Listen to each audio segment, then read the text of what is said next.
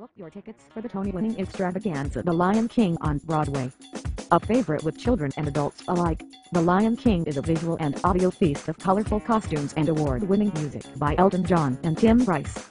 Don't miss your chance to see this popular Broadway show during your visit to New York City.